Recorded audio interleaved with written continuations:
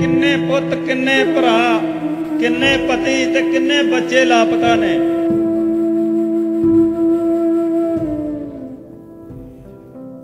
ਕਿ ਕਿਹੜੇ ਘਰ ਦਾ ਹੀਰਾ, ਕਿਹੜੀ ਸ਼ਮਸ਼ਾਨ ਘਾਟ 'ਚ ਤੁਸੀਂ ਕਦੋਂ ਸਾੜਿਆ ਸੀ?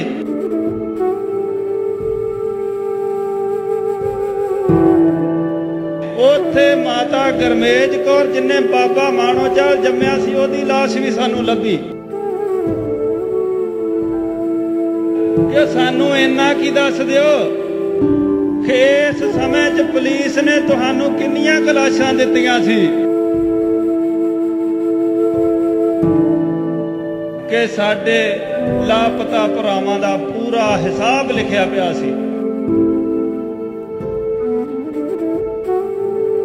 ਕੱਲੇ ਅੰਮ੍ਰਿਤਸਰ ਜ਼ਿਲ੍ਹੇ 'ਚ 2000 ਬੱਚੇ ਲਾਪਤਾ ਹੈ। ਸਰਕਾਰ ਸਾਨੂੰ ਦੱਸੇ ਕਿ ਕਿੱਥੇ ਨੇ? ਸਤਿ ਸ਼੍ਰੀ ਅਕਾਲ ਜੀ, ਦਾ ਖਾਲਸ ਟੀਵੀ ਦੇਖ ਰਹੇ ਸਾਰੇ ਦਰਸ਼ਕਾਂ ਦਾ ਬਹੁਤ-ਬਹੁਤ ਸਵਾਗਤ ਹੈ ਅੱਜ ਦੇ ਪ੍ਰਾਈਮ ਟਾਈਮ ਦੇ ਵਿੱਚ। ਮੈਂ ਕਦੇ ਤੁਹਾਨੂੰ ਕੋਈ ਬੇਨਤੀ ਨਹੀਂ ਕਰਦੀ, ਪਰ ਅੱਜ ਜ਼ਰੂਰ ਕਰਾਂਗੀ ਕਿ ਅੱਜ ਦਾ ਪ੍ਰਾਈਮ ਟਾਈਮ ਸਾਰਾ ਸੁਣਿਓ। ਸ਼ਾਇਦ ਤੁਹਾਡੀ ਜ਼ਿੰਦਗੀ ਦੀ ਸੋਚ ਨੂੰ ਬਦਲ ਸਕਦਾ ਹੈ।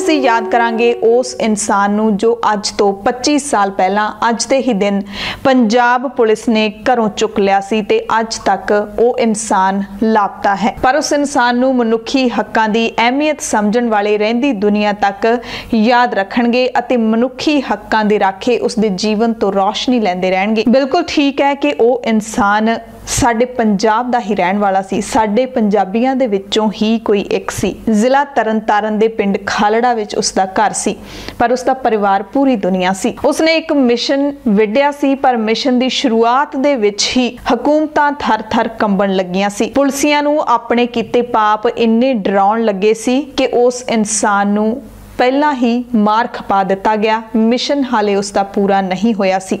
ਉਹਦਾ ਅੱਜ ਤੱਕ ਥੋ ਪਤਾ ਨਹੀਂ ਮਿਲਿਆ। ਨਾਮ ਸੀ ਭਾਈ ਜਸਵੰਤ ਸਿੰਘ ਖਾਲੜਾ। ਤੁਹਾਡੇ, ਸਾਡੇ ਸਭ ਦੇ ਵਿੱਚੋਂ ਬਹੁਤ ਸਾਰੇ ਅਜਿਹੇ ਹੋਣਗੇ ਪੰਜਾਬੀ, ਚਾਹੇ ਬਜ਼ੁਰਗ ਹੋਣ, ਜਾਂ ਫਿਰ ਨੌਜਵਾਨ ਹੋਣ, ਜਾਂ ਫਿਰ ਬੱਚੇ ਹੋਣ, ਬੀਬੀਆਂ ਹੋਣ, ਭੈਣਾਂ, ਮਾਵਾਂ। ਜਿਨ੍ਹਾਂ ਨੂੰ ਨਹੀਂ ਪਤਾ ਕਿ ਭਾਈ ਜਸਵੰਤ ਸਿੰਘ ਖਾਲੜਾ ਕੌਣ ਸੀ। ਪਰ ਹਰ ਕਿਸੇ ਨੂੰ ਇਹ ਜਾਣਨਾ ਬਹੁਤ ਜ਼ਰੂਰੀ ਹੈ ਕਿ ਭਾਈ ਜਸਵੰਤ ਸਿੰਘ ਖਾਲੜਾ ਕੌਣ ਸੀ। ਭਾਈ ਜਸਵੰਤ ਸਿੰਘ ਖਾਲੜਾ ਨੂੰ ਭਾਵੇਂ ਅਸੀਂ ਸਾਰੇ ਨਹੀਂ ਜਾਣਦੇ, ਪਰ ਅਸੀਂ ਸਾਰੇ ਜ਼ਰੂਰ ਜਾਣਦੇ ਹੋਵਾਂਗੇ। 1984 ਦਾ ਉਹ ਸਾਕਾ ਜਿਹੜਾ ਪਾਵਨ ਧਰਤੀ ਅੰਮ੍ਰਿਤਸਰ ਦੀ ਧਰਤੀ ਤੇ ਵਾਪਰਿਆ ਸੀ। ਸੱਚਖੰਡ ਸ੍ਰੀ ਦਰਬਾਰ ਸਾਹਿਬ ਦੇ ਉੱਤੇ ਜਦੋਂ ਹਮਲਾ ਹੋਇਆ ਸੀ। 1984 ਦੇ ਉਸ ਹਮਲੇ ਤੋਂ ਬਾਅਦ ਪੰਜਾਬ ਦੇ ਵਿੱਚ ਭਾਰਤੀ ਸਟੇਟ ਦੇ ਖਿਲਾਫ ਸਿੱਖਾਂ ਦਾ ਰੋਹ ਵੱਧ ਗਿਆ ਸੀ ਤੇ ਸੰਘਰਸ਼ ਦੀ ਲਹਿਰ ਚੱਲੀ। ਉਸ ਸੰਘਰਸ਼ ਦਾ ਜਵਾਬ ਸਰਕਾਰਾਂ ਨੇ ਆਪਣੀ ਪੁਲਿਸ ਦੇ ਜ਼ਰੀਏ ਬਹੁਤ ਹੀ ਅਣਮਨੁੱਖੀ ਤਰੀਕੇ ਨਾਲ ਦਿੱਤਾ। ਹਜ਼ਾਰਾਂ ਸਿੱਖ ਪੰਜਾਬ ਦੇ ਵਿੱਚ ਮਾਰ ਦਿੱਤੇ ਗਏ ਸੀ ਤੇ ਹਰ ਸਿੱਖ ਦੇ ਕਤਲ ਨੂੰ ਪੁਲਿਸ ਨੇ ਮੁਕਾਬਲੇ ਦਾ ਨਾਮ ਦਿੱਤਾ। ਪਰ ਉਹਨਾਂ ਵਿੱਚੋਂ ਜ਼ਿਆਦਾਤਰ ਪੁਲਿਸ ਮੁਕਾਬਲੇ ਝੂਠੇ ਮੰਨੇ ਜਾਂਦੇ ਨੇ। ਖਾੜਕੂਵਾਦ ਦੀ ਲਹਿਰ ਸੀ, ਖਾੜਕੂ ਮੁਕਾਬਲਾ ਵੀ ਕਰਦੇ ਸੀ, ਪਰ ਹਜ਼ਾਰਾਂ ਸਿੱਖ ਨੌਜਵਾਨ ਅਜਿਹੇ ਸੀ ਜਿਨ੍ਹਾਂ ਨੂੰ નિર્ਦੋਸ਼ੇ ਹੀ ਮਾਰ ਦਿੱਤਾ ਗਿਆ ਸੀ। 1980 ਦੇ ਵਿੱਚ ਭਾਈ ਜਸਵੰਤ ਸਿੰਘ ਖਾਲੜਾ ਬੈਂਕ ਵਿੱਚ ਮੁਲਾਜ਼ਮ ਵਜੋਂ ਨੌਕਰੀ ਕਰਦੇ ਸੀ ਤੇ ਨਾਲ-ਨਾਲ ਲੋਕ ਭਲਾਈ ਦੇ ਕੰਮਾਂ ਦੇ ਵਿੱਚ ਵੀ ਰੁੱਝੇ ਰਹਿੰਦੇ ਸੀ। ਨੌਕਰੀ ਕਰਦੇ ਵਕਤ ਭਾਈ ਖਾਲੜਾ ਨੂੰ ਪਤਾ ਲੱਗਦਾ ਹੈ ਕਿ ਉਹਨਾਂ ਦੇ ਨਾਲ ਨੌਕਰੀ ਕਰਦੇ ਦੋ ਸਿੱਖ ਨੌਜਵਾਨ ਮੁਲਾਜ਼ਮ ਲਾਪਤਾ ਹੋ ਗਏ ਨੇ। ਜਿਸ ਤੋਂ ਬਾਅਦ ਭਾਈ ਖਾਲੜਾ ਨੇ ਇਸ ਮਸਲੇ ਨੂੰ ਜਾਣਨਾ ਚਾਹਿਆ ਤੇ ਫਿਰ ਆਪਣੀ ਰਹਿੰਦੀ ਜ਼ਿੰਦਗੀ ਇਸੇ ਸੇਵਾ ਦੇ ਲਿਖੇ ਲਾ ਦਿੱਤੀ। ਕੁਝ ਦਿਨ ਬਾਅਦ ਭਾਈ ਖਾਲੜਾ ਨੂੰ ਪਤਾ ਲੱਗਦਾ ਹੈ ਕਿ ਜਿਹੜੇ ਉਹਨਾਂ ਦੇ ਦੋ ਸਿੱਖ ਨੌਜਵਾਨ ਕਲੀਗ ਲਾਪਤਾ ਹੋਏ ਨੇ। ਉਹਨਾਂ ਦੀਆਂ ਮ੍ਰਿਤਕ ਦੇਹਾਂ ਨੂੰ ਅੰਮ੍ਰਿਤਸਰ ਦੇ ਦੁਰਗਿਆਣਾ ਮੰਦਰ ਸ਼ਮਸ਼ਾਨ ਘਾਟ ਦੇ ਵਿੱਚ ਲਿਜਾਇਆ ਗਿਆ। ਭਾਲ ਕਰਦੇ ਕਰਦੇ ਭਾਈ ਖਾਲੜਾ ਸ਼ਮਸ਼ਾਨ ਘਾਟ ਵਿੱਚ ਪਹੁੰਚੇ ਤਾਂ ਸ਼ਮਸ਼ਾਨ ਘਾਟ ਦੇ ਇੱਕ ਕਰਿੰਦੇ ਨੇ ਦੱਸਿਆ ਕਿ ਕਦੇ-ਕਦੇ ਪੁਲਿਸ ਇੱਥੇ ਟਰੱਕ ਭਰ ਕੇ ਲਾਸ਼ਾਂ ਦੇ ਲਿਆਉਂਦੀ ਹੈ। ਕਦੇ-ਕਦੇ 8-10 ਲਾਸ਼ਾਂ ਹੁੰਦੀਆਂ ਨੇ।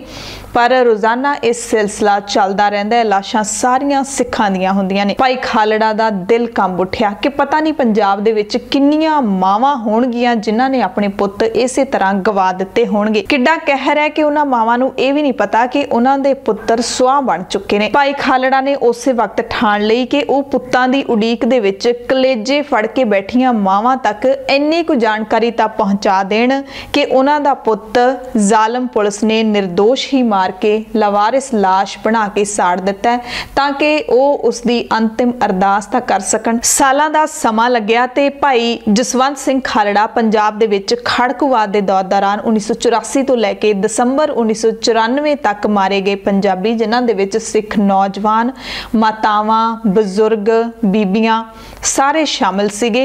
ਉਹਨਾਂ ਦੀਆਂ 6017 ਅਣਪਛਾਤੀਆਂ ਲਾਸ਼ਾਂ ਦਾ ਵੇਰਵਾ ਉਹਨਾਂ ਨੇ ਤਿਆਰ ਕੀਤਾ। ਇੱਕ ਲਿਸਟ ਬਣਾਈ ਸੀ ਤੇ ਇਹ ਲਿਸਟ ਹੈ ਸਿਰਫ ਅੰਮ੍ਰਿਤਸਰ, ਪੱਟੀ ਤੇ ਤਰਨਤਾਰਨ ਜ਼ਿਲ੍ਹਿਆਂ ਦੇ ਸਿਵਿਆਂ ਤੋਂ ਇਕੱਠੀ ਕੀਤੀ ਗਈ ਸੀ। ਸਿਰਫ ਤਿੰਨ ਜ਼ਿਲ੍ਹਿਆਂ ਦੇ ਸਿਵਿਆਂ ਤੋਂ ਇਕੱਠੀ ਕੀਤੀ ਗਈ ਸੀ। ਪੂਰੇ ਪੰਜਾਬ ਦੇ ਵਿੱਚ ਇਹ ਅੰਕੜਾ 25000 ਤੋਂ ਵੀ ਵੱਧ ਬਣਦਾ ਜਦੋਂ ਭਾਈ ਖਾਲੜਾ ਦਾ ਮਿਸ਼ਨ ਹੈ ਜਿਹੜਾ ਉਹ ਅੱਗੇ ਤੋਰਿਆ ਗਿਆ, ਖਾਲੜਾ ਮਿਸ਼ਨ ਆਰਗੇਨਾਈਜੇਸ਼ਨ ਦੇ ਤਹਿਤ ਉਹਨਾਂ ਦੇ ਪਰਿਵਾਰ ਦੇ ਵੱਲੋਂ। ਤੇ ਭਾਈ ਖਾਲੜਾ ਨੇ ਇਹ ਸਾਰਾ ਜਿਹੜਾ ਵੇਰਵਾ ਹੈ ਸਾਰਾ ਰਿਕਾਰਡ ਇਹਨਾਂ ਸ਼ਮਸ਼ਾਨ ਘਾਟਾਂ ਦੇ ਵਿੱਚੋਂ, ਸਿਵਿਆਂ ਦੇ ਵਿੱਚੋਂ ਤਿਆਰ ਕੀਤਾ ਸੀ। ਤੁਸੀਂ ਸਾਰੇ ਜਾਣਦੇ ਹੋਵੋਗੇ ਕਿ ਸਿਵਿਆਂ ਦੇ ਵਿੱਚ ਇੱਕ ਰਜਿਸਟਰ ਹੁੰਦਾ ਹੈ, ਜਿਹਦੇ ਵਿੱਚ ਲਾਸ਼ ਦਾ ਨਾਮ, ਜਿਹਦਾ ਸੰਸਕਾਰ ਕੀਤਾ ਜਾਣਾ ਹੈ, ਉਸ ਦੇ ਪਿੰਡ ਦਾ ਨਾਮ, ਪਿਤਾ ਦਾ ਨਾਮ, ਉਮਰ, ਅੰਮ੍ਰਿਤਧਾਰੀ ਜਾਂ ਮੋਨਾ, ਇਹ ਸਾਰੀ ਉਹਦੀ ਪਛਾਣ ਬਾਰੇ ਜਿਹੜਾ ਵੇਰਵਾ ਦਰਜ ਹੁੰਦਾ ਹੈ। ਪਰ ਜਿਹੜੀਆਂ 6017 ਲਾਸ਼ਾਂ ਦਾ ਰਿਕਾਰਡ ਭਾਈ ਖਾਲੜਾ ਨੇ ਇਕੱਠਾ ਕੀਤਾ ਸੀ, ਇਹ ਰਿਕਾਰਡ ਉਹਨਾਂ ਨੂੰ ਮਿਊਨਿਸਪਲ ਕਮੇਟੀ ਤੋਂ ਮਿਲਿਆ ਸੀ, ਕਿਉਂਕਿ ਜਦੋਂ ਸ਼ਮਸ਼ਾਨ ਘਾਟਾਂ ਦੇ ਵਿੱਚ ਕੋਈ ਰਿਕਾਰਡ ਨਹੀਂ ਦਰਜ, ਸਿਰਫ ਉਹਨਾਂ ਨੂੰ ਲਾਵਾਰਿਸ ਲਾਸ਼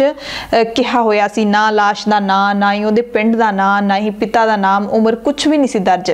ਤਾਂ ਫਿਰ ਜਿਹੜੇ ਸ਼ਮਸ਼ਾਨ ਘਾਟ ਦੇ ਕਰਮਚਾਰੀ ਸੀ, ਉਹਨਾਂ ਨੇ ਭਾਈ ਖਾਲੜਾ ਨੂੰ ਦੱਸਿਆ ਕਿ ਸਾਰਾ ਵੇਰਵਾ ਤੁਹਾਨੂੰ ਮਿਊਨਿਸਪਲ ਕਮੇਟੀ ਤੋਂ ਮਿਲ ਸਕਦਾ, ਕਿਉਂਕਿ ਅਸੀਂ ਬਾਲਣ ਉੱਥੋਂ ਲੈਨੇ ਆ ਬਾਲਣ ਜਿੱਥੋਂ ਲਿਆ ਜਾਂਦਾ ਸੀ, ਉੱਥੇ ਸਾਰਾ ਰਿਕਾਰਡ ਦਿੱਤਾ ਹੋਇਆ ਸੀ, ਖਾਸ ਕਰਕੇ ਰਿਕਾਰਡ ਕਿ ਕਿਹੜਾ ਪੁਲਿਸ ਵਾਲਾ ਕਿੰਨੀਆਂ ਲਾਸ਼ਾਂ ਲੈ ਕੇ ਆਇਆ।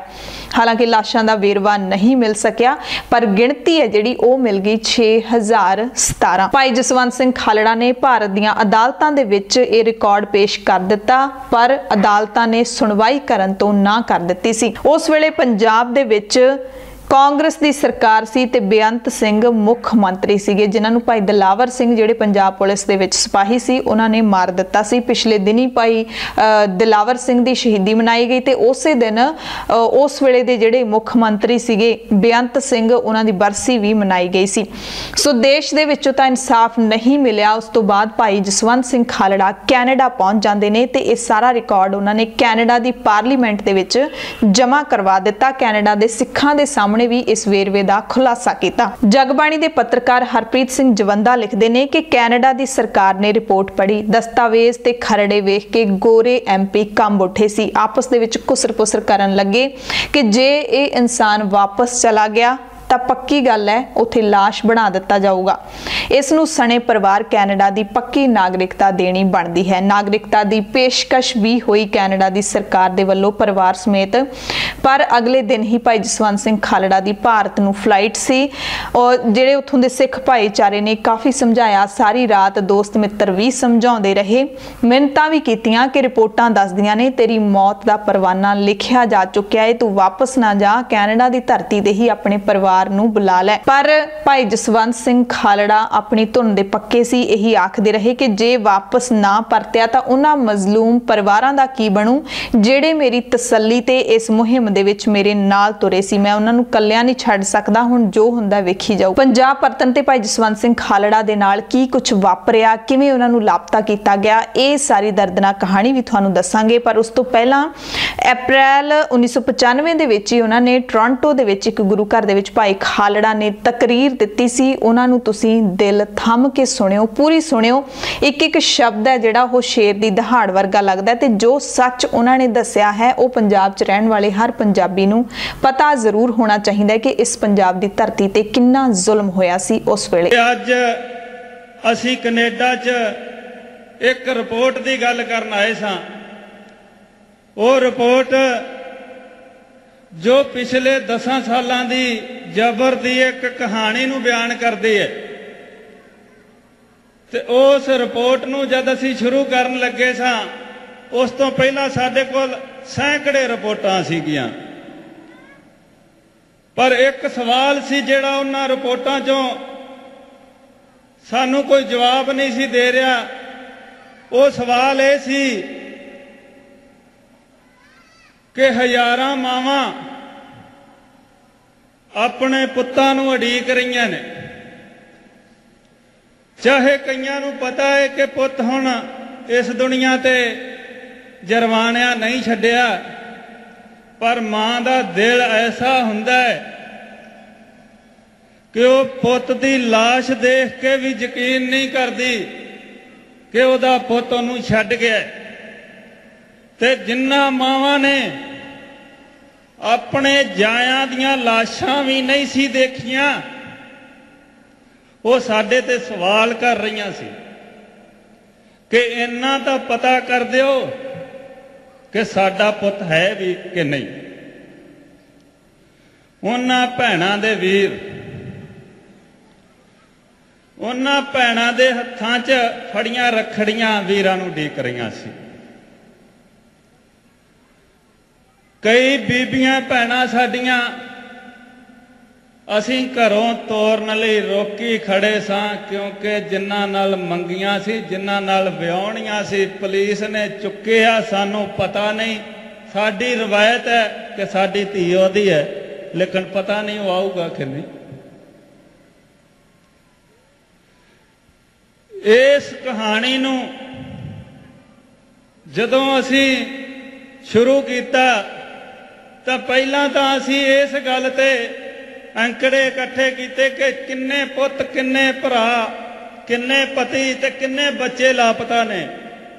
ਪਰ ਜਦੋਂ ਅਸੀਂ ਇਸ ਵਿਸ਼ੇ ਤੇ ਗੱਲ ਸ਼ੁਰੂ ਕੀਤੀ, ਤਾਂ ਅਨੇਕਾਂ ਮਾਵਾਂ, ਅਨੇਕਾਂ ਭੈਣਾਂ ਇਹ ਗੱਲ ਕਹਿਣ ਲਈ ਤਿਆਰ ਨਹੀਂ ਸੀ। ਉਹ ਕਹਿੰਦੀਆਂ ਸੀ, ਪੁੱਤ, ਜੇ ਗੱਲ ਤੁਸੀਂ ਗਾਂ ਕਰ ਦਿੱਤੀ, ਸਾਡਾ ਪੁੱਤ ਜਿੰਦਾ ਹੈ, ਅਜੇ ਉਹ ਮਾਰ ਦੇਣਗੇ। ਤੁਸੀਂ ਗੱਲ ਨਾ ਕਰਿਓ, ਅਸੀਂ ਤੁਹਾਨੂੰ ਵੀ ਨਹੀਂ ਦੱਸਣਾ।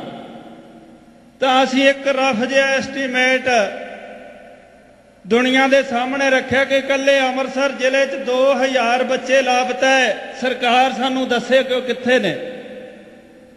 ਸਰਕਾਰ ਚੁੱਪ ਸੀ। ਅਸੀਂ ਫਿਰ ਕੁਝ ਪਰਿਵਾਰਾਂ ਵੱਲੋਂ ਹਾਈ ਕੋਰਟ 'ਚ ਪਟੀਸ਼ਨਾਂ ਕਰਾਈਆਂ ਕਿ ਦੱਸੋ ਇਹ ਬੱਚੇ ਕਿੱਥੇ ਨੇ।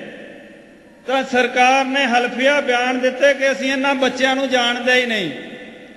ਜਦੋਂ ਗੱਲ ਹੋਰ ਅੱਗੇ ਵਧੀ ਤਾਂ ਜ਼ੁਲਮ ਦੇ ਇੰਚਾਰਜ ਨੇ ਕੇਪੀਐਸ ਗਿੱਲ ਨੇ ਅੰਮ੍ਰਿਤਸਰ ਦੇ ਵਿੱਚ ਪ੍ਰੈਸ ਕਾਨਫਰੰਸ ਕਰਕੇ ਕਿਹਾ ਕਿ ਇਹ ਮਨੁੱਖੀ ਅਧਿਕਾਰ ਵਿੰਗ ਵਾਲੇ ਮਨੁੱਖੀ ਅਧਿਕਾਰਾਂ ਬਾਰੇ ਕੁਝ ਨਹੀਂ ਕਰ ਰਹੇ।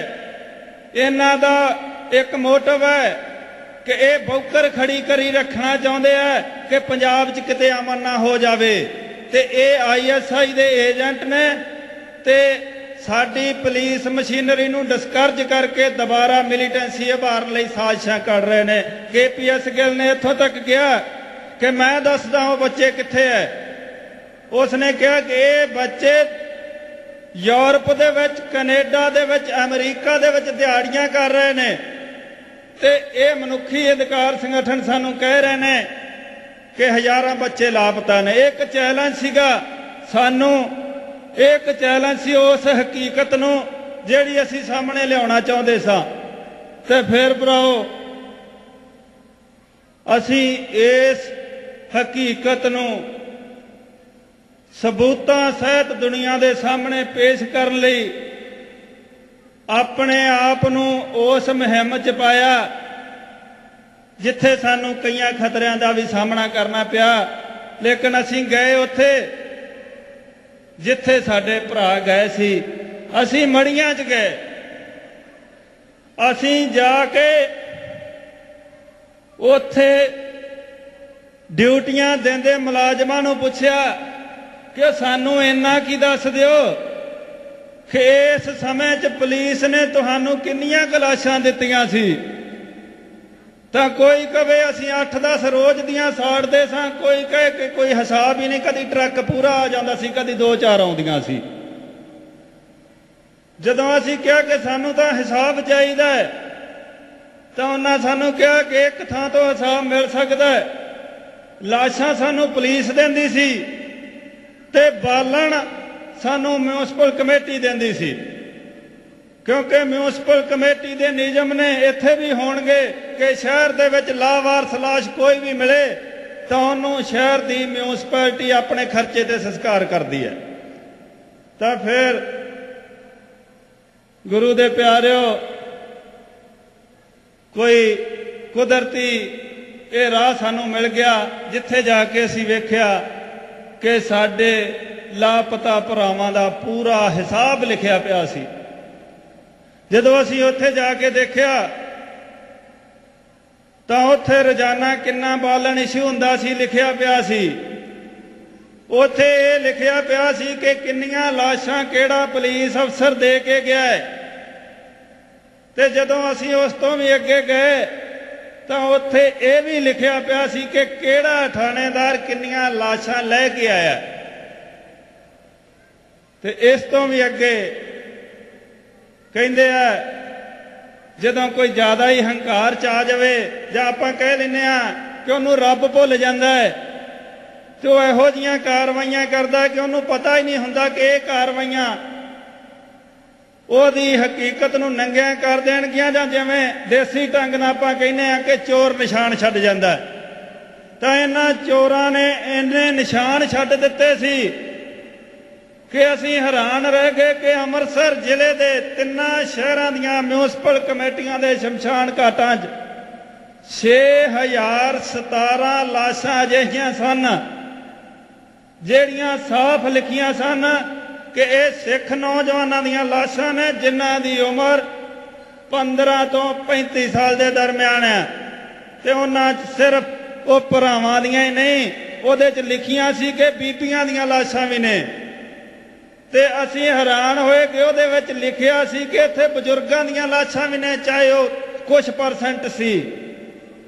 ਤੇ ਇਹ ਵੀ ਉੱਥੇ ਲਿਖਿਆ ਹੈ ਕਿ ਉੱਥੇ ਸਾਡੀਆਂ ਮਾਤਾਵਾਂ ਦੀਆਂ ਲਾਸ਼ਾਂ ਵੀ ਨੇ। ਉੱਥੇ ਮਾਤਾ ਗਰਮੇਜ ਕੌਰ ਜਿਨੇ ਬਾਬਾ ਮਾਣੋਚਾਲ ਜੰਮਿਆ ਸੀ, ਉਹਦੀ ਲਾਸ਼ ਵੀ ਸਾਨੂੰ ਲੱਭੀ। ਉੱਥੇ ਬੀਬੀ ਮਹਿੰਦਰ ਕੌਰ ਜਿਨੇ ਪਰਮਜੀਤ ਸਿੰਘ ਪੰਜਵੜ ਜੰਮਿਆ ਉਹਦੀ ਲਾਸ਼ ਵੀ ਸਾਨੂੰ ਲੱਭੀ। ਤੇ ਉੱਥੇ ਹਰਮਿੰਦਰ ਸਿੰਘ ਸੁਲਤਾਨਵਿੰਡ ਦੇ ਚਾਚੇ ਬਾਬਾ ਪਿਆਰਾ ਸਿੰਘ ਦੀ ਲਾਸ਼ ਵੀ ਸਾਨੂੰ ਲੱਭੀ।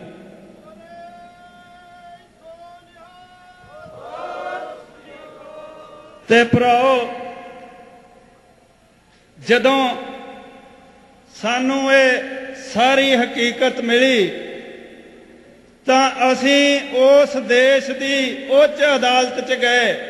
ਅਸੀਂ ਪੰਜਾਬ ਤੇ ਹਰਿਆਣਾ ਹਾਈ ਕੋਰਟ ਦਾ ਦਰਵਾਜ਼ਾ ਖੜਕਾਇਆ ਕਿ ਜਰਵਾਣਿਓ ਘੱਟੋ ਘੱਟ ਸਾਨੂੰ ਇਹ ਡਿਟੇਲ ਤਾਂ ਦੇ ਦਿਓ ਕਿ ਕਿਹੜੀ লাশ ਕਿਹਦੀ ਹੈ, ਤਾਂ ਕਿ ਅਸੀਂ ਹਰੇਕ ਮਾਂ ਭੈਣ ਨੂੰ ਦੱਸ ਸਕੀਏ, ਹਰੇਕ ਬਾਪ ਨੂੰ ਦੱਸ ਸਕੀਏ ਕਿ ਉਹ ਆਪਣੇ ਦਿਲ ਦੇ ਵਿੱਚ ਜੋ ਧਾਰੀ ਅਰਦਾਸ ਹੈ ਉਹ ਸਤਿਗੁਰਾਂ ਪਾਸ ਕਰ ਸਕੇ ਕਿ ਸਤਿਗੁਰੂ, ਮੇਰੇ ਪੁੱਤ ਨੂੰ ਆਪਣੇ ਚਰਨਾਂ 'ਚ ਨਿਵਾਸ ਬਖਸ਼ੀਏ, ਆਪਣੀ ਰਵਾਇਤ ਹੈ। ਅਸੀਂ ਪੁੱਤ ਮੰਗਦੇ ਆਂ ਸਤਿਗੁਰੂ ਪਾਸ ਅਰਦਾਸ ਕਰਕੇ ਅਸੀਂ ਆਪਣੇ ਘਰ ਦੇ ਜੀਆਂ ਨੂੰ ਤੋਰਦੇ ਆਂ ਸਤਿਗੁਰ ਪਾਸ ਅਰਦਾਸ ਕਰਦੇ ਆਂ ਕਿ ਚਰਨਾਂ ਨਾਲ ਲਾ ਲੈ। ਤਾਂ ਅਸੀਂ ਜਦੇ ਮੰਗ ਕੀਤੀ ਕਿ ਕੁਛ ਨਹੀਂ ਚਾਹੀਦਾ ਸਾਨੂੰ ਸਾਨੂੰ ਘੱਟੋ ਘੱਟ ਇਹ ਦੱਸ ਦਿਓ ਕਿ ਕਿਹੜੇ ਘਰ ਦਾ ਹੀਰਾ, ਕਿਹੜੀ ਸ਼ਮਸ਼ਾਨ ਘਾਟ 'ਚ ਤੁਸੀਂ ਕਦੋਂ ਸਾੜਿਆ ਸੀ? ਕਿਉਂਕਿ ਕਾਨੂੰਨ ਕਹਿੰਦਾ ਲਾਵਾਰਸ ਲਾਸ਼ ਦੀਆਂ ਫੋਟੋਆਂ ਰੱਖੀਆਂ ਜਾਂਦੀਆਂ ਕਾਨੂੰਨ ਕਹਿੰਦਾ ਲਾਵਾਰਸ ਲਾਸ਼ ਦੇ ਕੱਪੜੇ ਉਦੋਂ ਤੱਕ ਸਾਂਭ ਕੇ ਰੱਖੇ ਜਾਂਦੇ ਆ, ਜਦ ਤੱਕ ਉਹਨਾਂ ਦਾ ਵਾਰਸ ਕਲੇਮ ਨਾ ਕਰੇ। ਪਰ ਉਹ ਦੇਸ਼ ਜੋ ਸਭ ਤੋਂ ਵੱਡੀ ਜਮਹੂਰੀਅਤ ਤੇ ਨਿਆਂ ਪਸੰਦ ਕਹਾਉਂਦਾ ਹੈ, ਉਸ ਦੇ ਹਾਈ ਕੋਰਟ ਨੇ ਸਾਨੂੰ ਕਿਹਾ ਕਿ ਇੰਜ ਕਰੋ, ਇਹ ਪਬਲਿਕ ਇੰਟਰਸਟ ਲਿਟੀਗੇਸ਼ਨ ਤਾਂ ਬਣਦੀ ਨਹੀਂ। ਇਹਦੇ ਨਾਲ ਬਹੁਤ ਵੱਡਾ ਮਸਲਾ ਖੜਾ ਹੁੰਦਾ ਹੈ। ਤੁਸੀਂ ਹਰੇਕ ਪਰਿਵਾਰ ਨੂੰ ਜਿਨ੍ਹਾਂ ਦੀ লাশ ਹੈ, ਭੇਜ ਦਿਓ। ਅਸੀਂ ਉਹਨਾਂ ਨੂੰ ਜਾਣਕਾਰੀ ਦੇਵਾਂਗੇ ਕਾਨੂੰਨ ਨਾਲ ਮਖੌਲ ਕੀਤਾ ਗਿਆ ਹੈ। ਇੱਕ ਕੌਮ ਨਾਲ ਮਖੌਲ ਕੀਤਾ ਗਿਆ ਹੈ। ਤੇ ਉਹਨਾਂ ਲੋਕਾਂ ਨਾਲ ਮਖੌਲ ਕੀਤਾ ਗਿਆ ਹੈ, ਜਿਹੜੇ ਹੋਰ ਕੁਝ ਨਹੀਂ ਮੰਗਦੇ, ਸਿਰਫ ਡੈਥ ਸਰਟੀਫਿਕੇਟ ਹੀ ਮੰਗਦੇ ਸੀ। ਕਿਉਂਕਿ ਅਸੀਂ ਹਾਈ ਕੋਰਟ ਤੋਂ ਮੰਗਿਆ ਕਿ ਸਾਨੂੰ ਸਾਡੇ ਨਾਲ ਸੰਬੰਧਿਤ ਵੀਰ, ਭਰਾ ਦੀ লাশ ਦੀ ਜਾਣਕਾਰੀ ਚਾਹੀਦੀ ਹੈ। ਉਹ ਸਾਨੂੰ ਕਹਿ ਰਿਹਾ ਕਿ ਜਿਹਦੀ ਜਾਣਕਾਰੀ ਤੁਹਾਨੂੰ ਹੈਗੀ ਆ, ਉਹਦੇ ਬਾਰੇ ਆ ਜਾਓ। ਇਹ ਪੰਜਾਬ ਤੇ ਹਰਿਆਣਾ ਹਾਈ ਕੋਰਟ ਨੇ ਸਾਨੂੰ ਜਵਾਬ ਦਿੱਤਾ ਹੈ। ਚਾਹੇ ਅਸੀਂ ਹੁਣ ਸੁਪਰੀਮ ਕੋਰਟ 'ਚ ਜਾਵਾਂਗੇ, ਚਾਹੇ ਅਸੀਂ ਹਰ ਕਾਨੂੰਨੀ ਕਾਰਵਾਈ ਕਰਾਂਗੇ, ਪਰ ਸਭ ਤੋਂ ਵੱਡੀ ਕਚਹਿਰੀ ਲੋਕਾਂ ਦੀ ਕਚਹਿਰੀ ਹੁੰਦੀ ਹੈ ਤੇ ਅਸੀਂ ਲੋਕਾਂ ਦੀ ਕਚਹਿਰੀ 'ਚ ਦੁਨੀਆ ਪੱਧਰ ਤੇ ਜਾਣਾ ਚਾਹੁੰਦੇ ਕਿ ਐ ਦੁਨੀਆ ਵਾਲਿਓ, ਤੁਸੀਂ ਸਾਨੂੰ ਅੱਤਵਾਦੀ ਆਖਿਆ, ਤੁਸੀਂ ਸਾਨੂੰ ਫਿਰਕਾ ਪ੍ਰਸਤ ਆਖਿਆ, ਪਰ ਜਿਨ੍ਹਾਂ ਨੂੰ ਤੁਸੀਂ ਅਮਨ ਦੇ ਮਸੀਹੇ ਆਖਿਆ ਸੀ ਜਿਨ੍ਹਾਂ ਨੂੰ ਤੁਸੀਂ ਜਮਹੂਰੀਅਤ ਦੇ ਪੈਗੰਬਰ ਕਿਹਾ ਸੀ, ਉਹਨਾਂ ਦੀ ਅਸਲੀਅਤ ਜਾਣੋ ਤੇ ਸਾਨੂੰ ਦੱਸੋ ਕਿ ਆਖਰ ਅੱਤਵਾਦੀ ਕੌਣ ਹੈ ਤੇ ਸਤਵਾਦੀ ਕੌਣ ਹੈ। ਭਾਈ ਜਸਵੰਤ ਸਿੰਘ ਖਾਲੜਾ ਦੀ ਇਹ ਜਿਹੜੀ ਤੁਸੀਂ ਤਕਰੀਰ ਸੁਣੀ ਹੈ, ਇਹ ਉਹਨਾਂ ਦੀ ਜ਼ਿੰਦਗੀ ਦੀ ਆਖਰੀ ਤਕਰੀਰ ਹੈਗੀ ਹੈ। ਪੂਰੀ ਇਹ 40 ਕੁ ਮਿੰਟ ਦੀ ਹੈ, ਤੁਸੀਂ YouTube ਤੇ ਜਾ ਕੇ ਉਹਨਾਂ ਦੀ ਪੂਰੀ ਸਪੀਚ ਵੀ ਸੁਣ ਸਕਦੇ ਹੋ। ਅਸੀਂ ਤੁਹਾਨੂੰ ਇਹਦਾ ਇੱਕ ਹਿੱਸਾ ਜਿਹੜਾ ਉਹ ਸੁਣਾਇਆ ਜਦੋਂ ਫਿਰ ਭਾਈ ਜਸਵੰਤ ਸਿੰਘ ਖਾਲੜਾ ਪੰਜਾਬ ਆ ਜਾਂਦੇ ਨੇ ਤੇ ਪੰਜਾਬ ਦੇ ਵਿੱਚ ਉਸੇ ਸਾਲ ਹੀ 1995 ਦੇ ਵਿੱਚ ਹੀ, ਉਸ ਵੇਲੇ ਦੇ ਜਿਹੜੇ ਪੰਜਾਬ ਦੇ ਡੀਜੀਪੀ ਕੇਪੀਐਸ ਗਿੱਲ, ਜਿਨ੍ਹਾਂ ਦਾ ਨਾਮ ਮਨੁੱਖੀ ਅਧਿਕਾਰਾਂ ਦਾ ਘਾਣ ਕਰਨ ਦੇ ਲਈ ਯਾਦ ਕੀਤਾ ਜਾਂਦਾ ਹੈ ਤੇ ਹਮੇਸ਼ਾ ਸ਼ਾਇਦ ਯਾਦ ਰੱਖਿਆ ਜਾਏਗਾ। ਇੱਕ ਕਿਤਾਬ ਵੀ ਲਿਖੀ ਗਈ ਹੈ ਭਾਈ ਸਰਬਜੀਤ ਸਿੰਘ ਦੇ ਵੱਲੋਂ ਜਿਸ ਦਾ ਨਾਮ ਹੈ ਕੇਪੀਐਸ ਗਿੱਲ ਦਾ ਬੁੱਚੜ of Punjab Punjab the butcher KPS Gill so KPS Gill ਦੇ ਨਾਲ ਵੀ ਇਸ ਵੇਰਵੇ ਦੇ ਸੰਬੰਧੀ ਬਹਿਸ ਹੋਈ ਸੀ ਭਾਈ ਖਾਲੜਾ ਦੀ। ਭਾਈ ਖਾਲੜਾ ਨੇ ਪੁੱਛਿਆ ਸੀ ਕਿ ਇੰਨੇ ਨੌਜਵਾਨ ਪੁਲਿਸ ਨੇ ਕਿਸ ਆਧਾਰ ਤੇ ਅਤੇ ਕਿਉਂ ਖਤਮ ਕੀਤੇ ਗਏ? ਕੇਪੀਐਸ ਗਿੱਲ ਦਾ ਵਿਅੰਗਮਈ ਜਵਾਬ ਸੀਗਾ। ਇਹ ਭਾਈ ਜਸਵੰਤ ਸਿੰਘ, ਖਾਲੜਾ ਨੇ ਆਪਦੀ ਇਸ ਸਪੀਚ ਦੇ ਵਿੱਚ ਵੀ ਦੱਸਿਆ ਹੈ, ਵਿਅੰਗਮਈ ਜਵਾਬ ਉਹਨਾਂ ਨੇ ਪ੍ਰੈਸ ਕਾਨਫਰੰਸ ਕਰਕੇ ਹੀ ਦਿੱਤਾ ਸੀ। ਕੇਪੀਐਸ ਗਿੱਲ ਨੇ ਪ੍ਰੈਸ ਕਾਨਫਰੰਸ ਕੀਤੀ ਸੀ। ਇਲਜ਼ਾਮ ਲਾਇਆ ਗਿਆ ਨਾਲੇ ਕਿ ਇਹ ਆਈ ਆਈਐਸਆਈਐਸ ਦੇ ਏਜੰਟ ਹੈਗੇ ਨੇ, ਜਿਹੜੇ ਮਨੁੱਖੀ ਅਧਿਕਾਰਾਂ ਵਾਲੇ ਹੈਗੇ ਨੇ। ਤੇ ਇਹ ਪੰਜਾਬ ਦਾ ਮਾਹੌਲ ਮੁੜ ਤੋਂ ਖਰਾਬ ਕਰਨਾ ਚਾਹੁੰਦੇ ਨੇ। ਇੱਕ ਵਿਅੰਗਮਈ ਅੰਦਾਜ਼ ਦੇ ਵਿੱਚ ਇਹ ਵੀ ਕਿਹਾ ਕਿ ਜਿਹੜੇ ਇਹ ਪੰਜਾਬ ਦੇ ਨੌਜਵਾਨ ਲਾਪਤਾ ਹੋਏ ਨੇ, ਮੈਂ ਤੁਹਾਨੂੰ ਦੱਸਦਾ ਕਿੱਥੇ ਗਏ ਨੇ। ਇਹ ਯੂਰਪ, ਕੈਨੇਡਾ ਤੇ ਅਮਰੀਕਾ ਵਰਗੇ ਮੁਲਕਾਂ ਦੇ ਵਿੱਚ ਦਿਹਾੜੀਆਂ ਕਰ ਰਹੇ ਨੇ। ਕਿੱਡਾ ਸ਼ਰਮਨਾਕ ਇਹ ਜਵਾਬ ਹੈ ਪੰਜਾਬ ਦੇ। ਉਸ ਵਕਤ ਦੇ ਪੁਲਿਸ ਮੁਖੀ ਦੇ ਵੱਲੋਂ ਦਿੱਤਾ ਗਿਆ ਕਿ ਪੰਜਾਬ ਦੇ ਨੌਜਵਾਨਾਂ ਨੂੰ ਇੱਕ ਤਾਂ ਤੁਸੀਂ ਮਾਰ ਕੇ ਖਪਾ ਦਿਓ ਲਾਵਾਰਿਸ ਲਾਸ਼ਾਂ ਬਣਾ ਦਿਓ, ਉੱਤੋਂ ਤੁਸੀਂ ਮਜ਼ਾਕ ਉਡਾਓ, ਕਿੰਨਾ ਤੁਸੀਂ ਆਪਣੇ ਨਾਗਰਿਕਾਂ ਦੀ ਜਿਹੜੀ, ਜਿਹੜੇ ਉਹਨਾਂ ਦੇ ਮਨੁੱਖੀ ਅਧਿਕਾਰ ਨੇ, ਕਿੰਨਾ ਉਹਨਾਂ ਦਾ ਘਾਣ ਤੁਸੀਂ ਕਰਦੇ ਹੋ, ਇੰਨਾ ਸ਼ਰਮਨਾਕ ਜਿਹੜਾ ਬਿਆਨ ਹੈ, ਸੁਣ ਕੇ ਹੀ ਸਮਝਿਆ ਜਾ ਸਕਦਾ ਹੈ ਕਿ ਗਿੱਲ ਦਾ ਇਹ ਜਵਾਬ ਹੈ ਜਿਹੜਾ ਇਨਸਾਫ ਦੇ ਨਾਲ ਮਜ਼ਾਕ ਸੀ, ਬਹੁਤ ਹੀ ਭੱਦਾ ਮਜ਼ਾਕ ਸੀ। ਉਸ ਮੁਲਾਕਾਤ ਤੋਂ ਬਾਅਦ ਪੁਲਿਸ ਲਗਾਤਾਰ ਭਾਈ ਜਸਵੰਤ ਸਿੰਘ ਖਾਲੜਾ ਨੂੰ ਘਰ ਆ ਕੇ ਧਮਕੀਆਂ ਦੇਣ ਲੱਗੀ ਤੇ ਇਹ ਵੀ ਜਵਾਬ ਦਿੱਤਾ ਗਿਆ ਭਾਈ ਜਸਵੰਤ ਸਿੰਘ ਖਾਲੜਾ ਨੂੰ ਕਿ ਇੰਨੀਆਂ ਜਿਹੜੀਆਂ ਲਾਸ਼ਾਂ ਦੀ ਗਿਣਤੀ ਤੁਸੀਂ ਇਕੱਠੀ ਕੀਤੀ ਹੈ। ਇਹਨਾਂ ਦੇ ਵਿੱਚ ਜੇ ਇੱਕ ਲਾਸ਼ ਦੀ ਗਿਣਤੀ ਹੋਰ ਵੱਧ ਜੇ, ਫਿਰ ਤੁਹਾਨੂੰ ਕੀ ਕੀ ਲੱਗੂਗਾ, ਕਿਵੇਂ ਲੱਗੂਗਾ? ਯਾਨੀ ਕਿ ਧਮਕੀ ਦਿੱਤੀ ਗਈ ਕਿ ਤੂੰ ਵੀ ਲਾਸ਼ ਬਣਾ ਦਿੱਤਾ ਜਾਏਗਾ ਤੇ ਆਖਿਰਕਾਰ ਕੀਤਾ ਵੀ ਉਹੀ ਗਿਆ। ਮਨੁੱਖੀ ਅਧਿਕਾਰਾਂ ਦੇ ਲਈ ਲਗਾਤਾਰ ਡਟੇ ਰਹੇ, ਪਰ 6 ਸਤੰਬਰ 1995 ਨੂੰ ਆਪਣੇ ਘਰ ਦੇ ਵਿੱਚ ਸਵੇਰੇ ਸਵੇਰੇ ਕਾਰ ਧੋ ਰਹੇ ਸੀ ਭਾਈ ਜਸਵੰਤ ਸਿੰਘ ਖਾਲੜਾ। ਉਹਨਾਂ ਦੀ ਪਤਨੀ ਪਰਮਜੀਤ ਕੌਰ ਖਾਲੜਾ ਦੇ ਸਾਹਮਣੇ, ਅੱਖਾਂ ਦੇ ਸਾਹਮਣੇ ਪੁਲਿਸ ਚੁੱਕ ਕੇ ਲੈ ਗਈ ਭਾਈ ਜਸਵੰਤ ਸਿੰਘ ਖਾਲੜਾ ਨੂੰ। 3 ਸਾਲ ਤੱਕ ਲਗਾਤਾਰ ਪੁਲਿਸ ਭਾਈ ਖਾਲੜਾ ਦੇ ਆਪਣੇ ਕੋਲ ਹੋਣ ਤੋਂ ਇਨਕਾਰ ਕਰਦੀ ਰਹੀ ਕਿ ਅਸੀਂ ਤਾਂ ਚੱਕਿਆ ਹੀ ਨਹੀਂ, ਸਾਡੇ ਕੋਲ ਹੈ ਹੀ ਨਹੀਂ ਭਾਈ ਖਾਲੜਾ।